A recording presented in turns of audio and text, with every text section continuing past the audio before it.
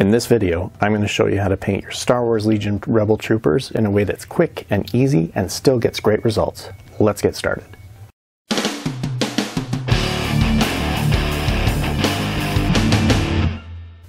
What's going on Mini Junkies, Jared here. So in this video, like I said, I'm going to show you how to paint your Rebel Troopers, so the two squads that come in the core box, in an kind of an unorthodox way and in an unusual way that I think the purists are going to be like, what the? I think you guys are really going to dig it. And like I said, it's super easy and it's very, very quick. I think it took me just under a couple hours to paint them all, and that was with stopping to shoot video and stuff like that. And it uses, um, predominantly uses inks. And so I'm going to show you in the video what you're going to need to pick up if you don't have it already uh, to paint these.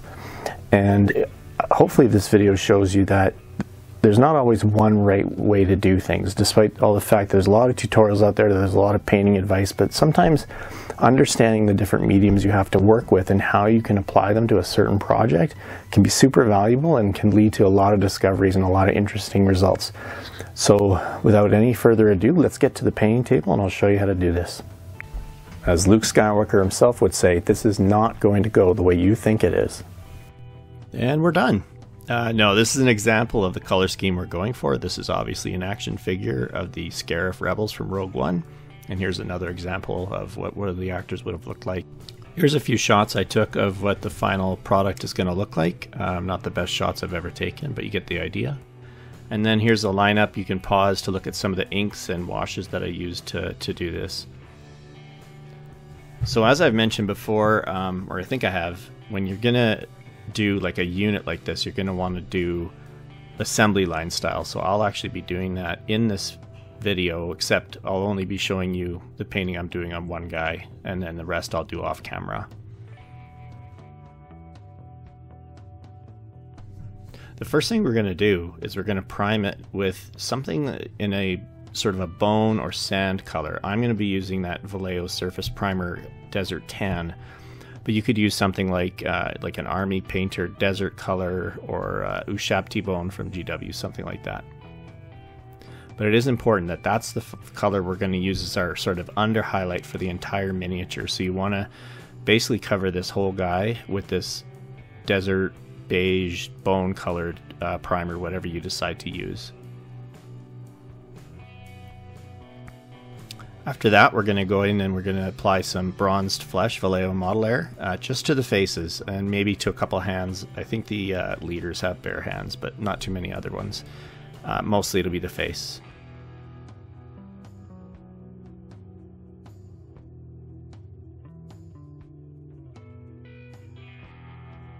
Alright, here's where it starts to get interesting. We're using GW Seraphim Sepia and what we're going to be doing here is painting the shirt sleeves and the shirts underneath the vest. Basically the part that's supposed to be that kind of tan, light browny kind of color on the uh, Scarif guys.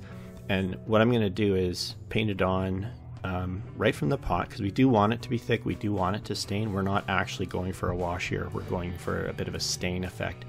And that's why uh, in the course of this assembly line, I'm actually going to paint on it um, paint a coat on, let it dry as I paint the other ones, and then paint over a second time because I want to darken them up a fair bit. But what happens is the this wash is going to shade the recesses, but it's also going to tint the highlights, and yet the the bone color will still shine through and create a highlight on the sleeves.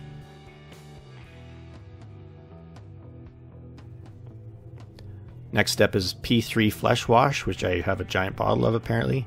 Uh, this you're going to apply to all the flesh areas just like a normal wash it like you usually would. Uh, mostly it's going to be the faces in this case and I think I overly slopped it on here so I go back in and, and suck some of it off with the brush. Um, wish I had said that differently. The first ink we're going to use is Vallejo Game Ink Brown and we're going to apply it all over the, the pants, trousers, whatever. Um, just basically slop it on there. Don't be too worried about pooling. It's actually not so bad if it's going to pool. In this case, we want some pretty deep shadows and brighter highlights. I believe I'm going to do this one as well for two coats, although I won't show it. And again, that's to make sure that it doesn't look, you know, too light, but it has a nice rich brown color uh, without completely obscuring the highlight.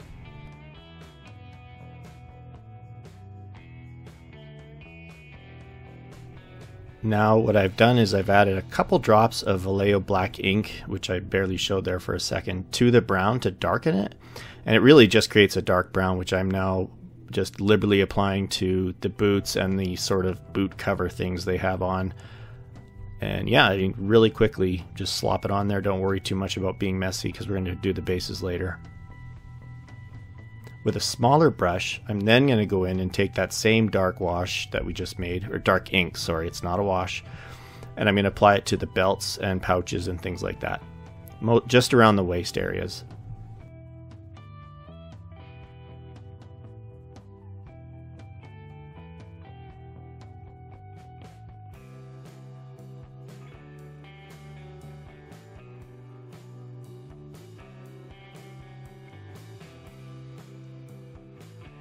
Now, for these two alien guys with blue skin, I first decided to try this Vallejo uh, gray blue wash, uh, but that didn't work.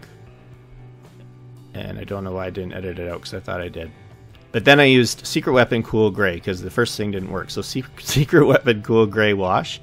Just apply this all over their head and let it dry and then do it again. And I think I might have done it three times, maybe twice, just to get a decent um, amount of blue. And like I said, the that underbone color is going to help create highlights all over the face and on top of the head and stuff. But that's that's how I did those guys.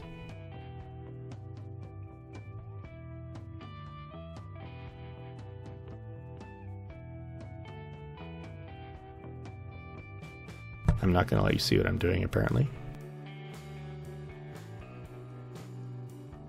All right, quick flash, sepia ink. Now I'm applying sepia ink. And again, I'm not diluting this or thinning it. It's right out of the bottle. I'm painting it right over the bone uh, colored um, or sand colored base coat or primer. Um, what I found, and it's it's tough to see in the video, I have to admit, but what I found is it creates this really cool dark brown distressed or aged leather look. Um, it looks especially cool on the coats of the leaders. And again, like super easy. I just paint on one layer and that's it.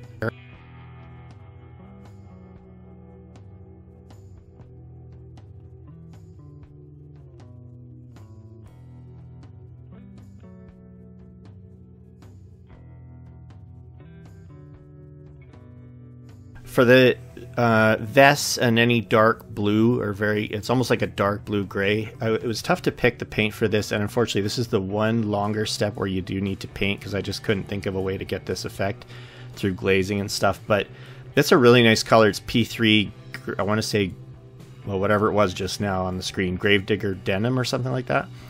Uh, you're going to paint it on all and yeah thin it uh, with a bit of thinner medium or water um, but it goes on pretty light and just paint in all the vests or anywhere you really want to have that sort of dark blue gray color that's on the uh, Scarif troops.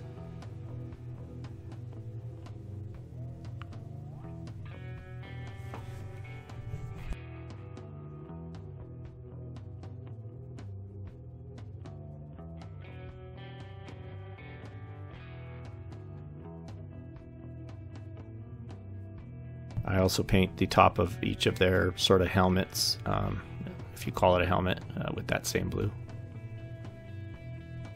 Now what we want to do is darken that down. So what I'm using here is Vallejo Model Wash Black. I was looking for one that similar to Nuln Oil, by the way, you could really you could use Nuln Oil if you can't find this wash. Um, I want to darken that blue gray down more and make it um, very very dark and just a bit bluish. Um, so I am basically just going to liberally apply this black wash all over the blue areas we just painted, um, that I just painted. I assume you painted. And yeah, the goal is to darken it and to have it uh, go into the into the recesses and stuff like that.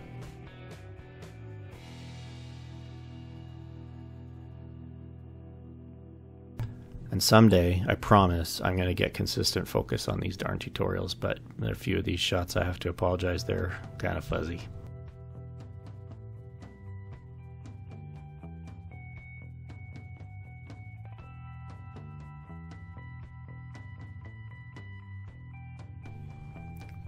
All right, for this step, I wanted to um, darken the gloves. I decided I wanted dark gloves, and I decided to use the sepia ink again uh, and go for that sort of aged dark brown look on these. same same basic process. And you can see in the bottom corner that I've been doing each step to all of the troops as I go as an assembly line, and I just am not showing that on camera.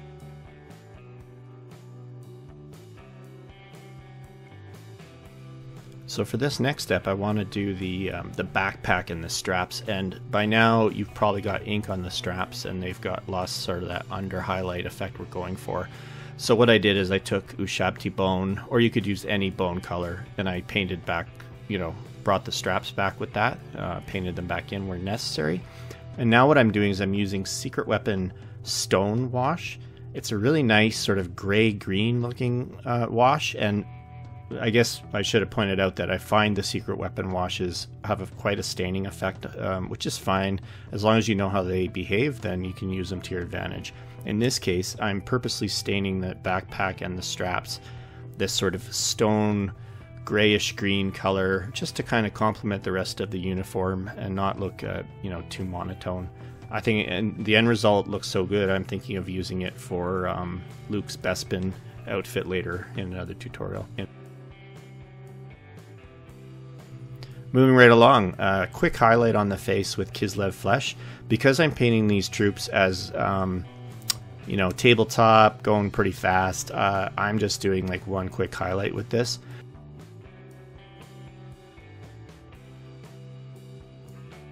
So we're really in the home stretch at this point. Uh, I've already reached the stage where I want to apply matte varnish. You can paint this on, you can use a Testors Dull Coat spray, but we're doing this now to take that ink shine off of everywhere uh, that it's still you know shiny.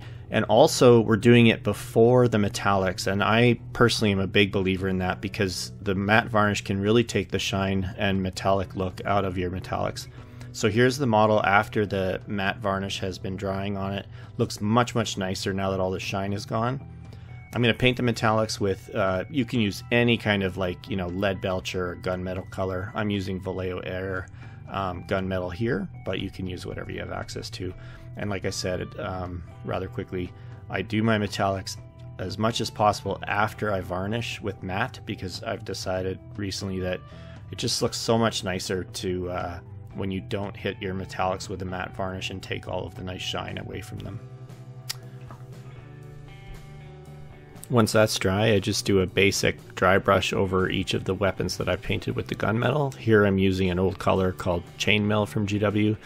It's similar to like a Runefang steel or any kind of like middle of the road uh, silvery color. It's not bright silver and it's not gunmetal. I just dry brush it on all the weapons, very basic.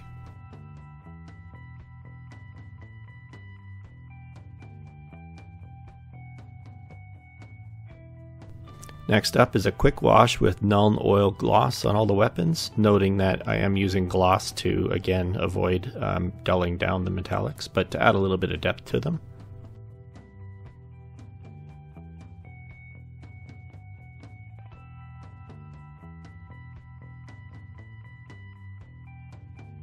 Last step here is to use desert, stand, desert sand paste from Vallejo, um, which is this basically the technique I used in my uh, making desert bases video for the stormtroopers. And I'm using an old brush to apply this, and I'm really just going to paint it onto the base, let it dry, and then give the entire thing a wash with GW Seraphim Sepia. That's it. And again, here's a look at the final result. Obviously, I should have stressed at the start that we're going for a really nice tabletop look here. I'm not going to win any awards, uh, but I think it looks great. If you enjoyed this video, I hope you'll consider subscribing for more and liking and sharing the video. See you next time.